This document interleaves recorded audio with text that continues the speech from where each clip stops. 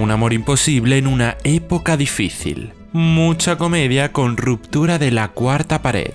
Así es la nueva película de Netflix que pretende enamorarnos. Una chica se da cuenta de que por mucho tiempo que pase, jamás superará al que una vez fue el amor de su vida. En este vídeo te resumo Persuasión. Estos son Frederick y Anne. Ambos están loquitos el uno por el otro, pero la persuasión de la familia de la chica hace que ambos acaben separándose, ya que el chico es un humilde marino sin posición ni fortuna. Anne está ahora soltera. Disfruta estándolo ya que en el fondo ha perdido toda esperanza en el amor. La chica se divierte viendo la familia que tiene. Su padre, Sir Walter Elliot, es un narcisista ególatra que acaba perdiendo parte de su fortuna debido a su mal hacer con las cuentas. Sus hermanas son dos completos desastres. La mayor, Elizabeth, está soltera y es prácticamente una copia de su padre. Y la menor, sin embargo, ha conseguido casarse con Charles, a pesar de que la chica es completamente insoportable. Se llama Mary, por cierto. Anne perdió a su madre hace tiempo, y desde entonces la única persona en la que puede confiar es en la que fue la mejor amiga de su madre, Lady Russell, una mujer que ayuda al pobre Walter a poder llevar el casoplón que tienen adelante. Sin embargo, y por culpa del hombre, ahora tienen que buscar otro lugar donde vivir ya que deben alquilar su palacio para poder sobrevivir. Uno de los ayudantes propone a Walter a un matrimonio que podría estar interesado en el alquiler, y le dice que el hermano de la mujer se apellida Wentworth. Enseguida Anne cae en la cuenta de que está hablando de su gran amor Frederick Wentworth, al que no ve hace ya ocho años. Lady Russell se siente culpable al ver que la chica aún lo ama y que por sus consejos acabó separándose de él. Anne le dice que la culpa fue de ella por dejarse persuadir en su momento. Anne nos enseña todas las publicaciones que tiene guardadas sobre el hombre en las que se describen sus hazañas. Y cae en la cuenta de que en ninguna de ellas se nombra que el hombre se haya comprometido con ninguna mujer. En una comida familiar aparece la señora Penélope, una chica que tiene todo el interés del mundo en acercarse a Sir Walter y que anima al hombre a que se vayan a vivir a Bath. Por otro lado, Elizabeth le dice a su hermana que les ha llegado una carta de su hermana Mary. Tanto la chica como su padre se van hasta Bath a buscar el que será su próximo hogar. Dejan todo a cargo de Anne y esta además recibe al matrimonio al que alquilarán su casa. La mujer menciona que algún día pueden invitar a su hermano Frederick, ya que se ha enterado de que la chica lo conoce. Algo que emociona y asusta a partes iguales a Anne. La chica pone rumbo así hasta la ciudad de su hermana. Cuando llega, Anne nos cuenta los tres pasos con los que su hermana menor la va a recibir y todos se cumplen. Mary es una quejica que solo piensa en ella y jamás pregunta al otro cómo está. Y vive junto a sus jovencísimas cuñadas que son completamente diferentes a ella. En ese momento Anne se entera por su cuñado Charles que esa misma noche el almirante Croft y su esposa son los invitados de honor, y que ambos vendrán con el hermano de la mujer, el capitán Frederick. Anne se queda sorprendida y enseguida le cuenta a Louis, con la que se lleva súper bien, que ella tuvo un romance años atrás con el ahora capitán. Sin embargo, uno de sus sobrinos se rompe un brazo al caerse de un árbol y la chica tiene que quedarse a cuidar del niño, quedándose sin poder asistir a la cena. Anne sabe que era su gran oportunidad para reencontrarse con el hombre. Sin embargo, no todo está perdido la mujer acaba coincidiendo con el hombre en el peor momento posible, cuando está intentando hacerle bromas sobre el capitán a su sobrino. El encuentro entre ellos es bastante seco y todos se quedan sorprendidos de las cosas que se dicen. Y Anne se acaba dando cuenta de que le ha recibido con un bigote de mentira. Esa misma noche, Luis intenta que Anne y el hombre coincidan en la mesa de gala algo que acaba resultando completamente imposible. Anne y Frederick acaban cada uno en una punta de la mesa, y cada vez parece más difícil que se produzca un encuentro bonito entre ellos. Casualmente, Louis se sienta a su lado, y la chica cae rendida a sus pies. ¿Cómo no? Los dos pasan la noche bailando e incluso la propia Mary, que disfruta metiendo el dedo en la llaga, le dice a su hermana que seguramente Luis y el capitán acaben casándose. El segundo encuentro entre ellos se produce cuando Anne, cansada de estar suspirando por un hombre que pasa de ella, comienza a jugar con sus sobrinos en mitad del bosque. Este segundo reencuentro entre ellos es aún más frío que el anterior por parte del hombre, y Anne decide que ya es hora de pasar página. Sin embargo, cuando Luis le dice que se ha enamorado de Frederick, la cosa cambia. Anne siente que ahora es demasiado tarde para intentarlo con el hombre, ya que haría sufrir a la chica a la que tanto cariño le ha tomado. Anne observa durante un paseo que la conexión entre ellos es real y decide que por qué no cotillear un poquito y escuchar la conversación entre ellos cuando se quedan a solas. Anne se sorprende al ver que el hombre la pone a parir y que en cambio Luis se deshace en halagos hacia ella. Anne se da cuenta de que ha caído muy bajo al seguir intentando tener algo con alguien como él. Pero enseguida se da cuenta de que aún puede caer un poquito más bajo.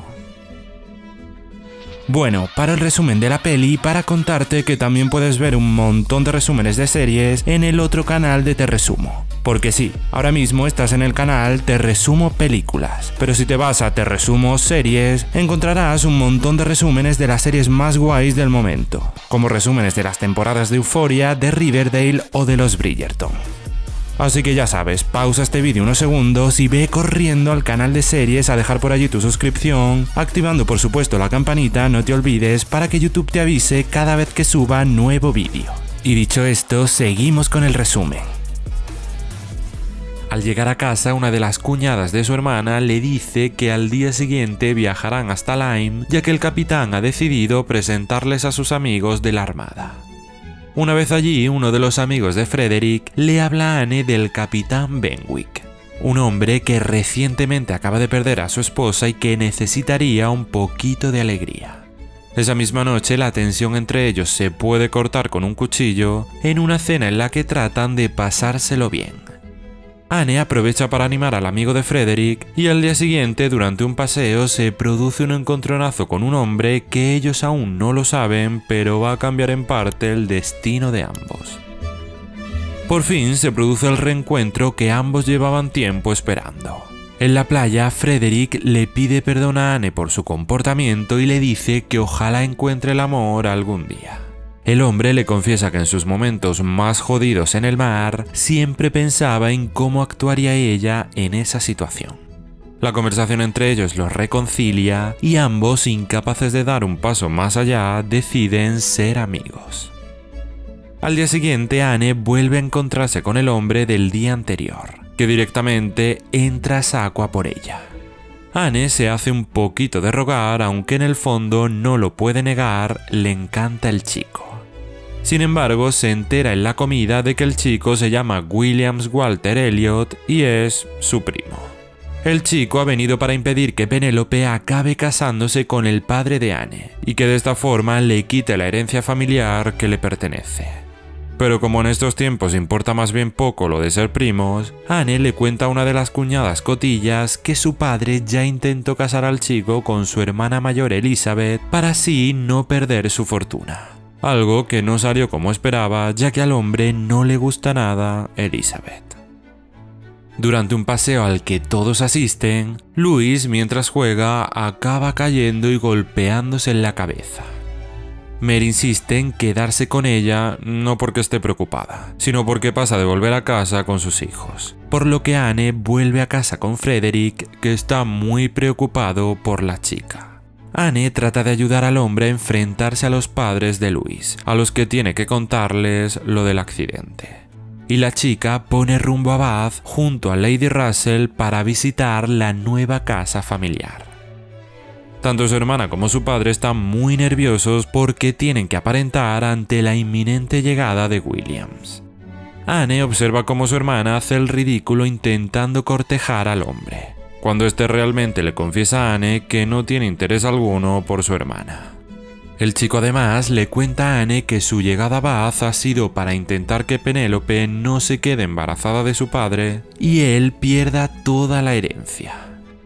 A Anne le encanta la franqueza del hombre y cada vez está más segura de que debe darse una segunda oportunidad en el amor. El chico parece ser divertido y además es muy directo, algo que le agrada bastante por lo que Anne, totalmente decidida, le cuenta a Lady Russell que quizás lo intente con Williams.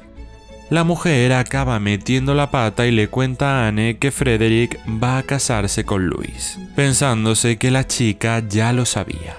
Pero nada que ver. Anne se da cuenta entonces de que realmente no ha superado el amor que sentía por Frederick y se pasa varios días en depresión absoluta. Unos días más tarde, la chica se encuentra de forma casual con Frederick y el encantador de Williams, totalmente seguro de que son amigos, decide invitar al chico a un concierto al día siguiente. Concierto en el que Frederick aprovecha un momento a solas con Anne, no para lo que os imagináis, sino para decirle que le han ofrecido un trabajo en un barco y que partirá en unos días.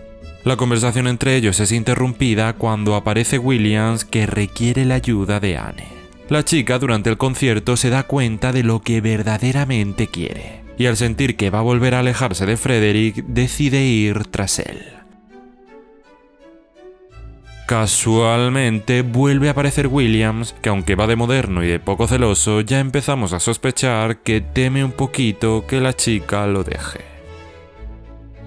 Sin embargo, todo cambia cuando el chico se declara a Anne y le pide matrimonio. Anne se queda sorprendida y piensa quizás deba tomar esta oportunidad, ya que segundas oportunidades nunca fueron buenas. Días más tarde, la quejica de Mary llega a casa de Anne para decirle que se ha dado cuenta de lo frágil que es la vida tras ver la caída de Louis, diciéndole que quiere ir a pasárselo bien. Ella y Charles acaban llevándose a Anne a una posada donde está Frederick. La conversación entre ellos es un poco fría y Anne lo nota bastante triste y serio. La chica se reencuentra tras esto con uno de los amigos de Frederick que le comenta que el capitán Benwick por fin ha encontrado el amor. Lo que Anne no acaba de enterarse es de que el chico le está tratando de decir que es con Louis con quien Benwick ha encontrado el amor, motivo por el que Frederick está así. Anne va entonces a buscar a Frederick y ve que éste le ha dejado una carta antes de marcharse. El chico le confiesa que nunca ha dejado de quererla en todo este tiempo y que sigue enamorado de ella. Anne sale corriendo tras él y por el camino se encuentra a Williams liándose con Penélope a los que da su bendición sin problema. Anne se reencuentra así con Frederick y ambos se funden en un apasionado beso. Tiempo después, William se casa con Penélope. Louis y Benwick están completamente enamorados y Lady Russell sigue con sus viajes por Europa en los que según le contó Anne se lo pasa bastante bien. Frederick y Anne siguen a lo suyo y retoman su amor en el mismo lugar donde comenzó todo.